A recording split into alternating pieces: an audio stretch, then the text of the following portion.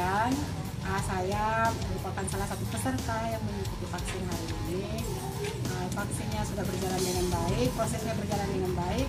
Nah, sebenarnya pertama itu adalah sebuku, tapi demi kesehatan kita harus bisa.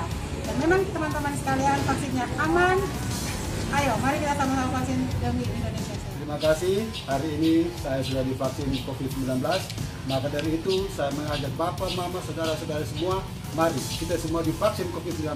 Karena COVID-19, vaksin COVID-19 itu aman. Terima kasih karena hari ini saya sudah vaksin COVID-19. Saya mengajak Bapak Mama Saudara-saudari, mari kita mengikuti vaksin COVID-19 karena vaksin COVID-19 itu aman.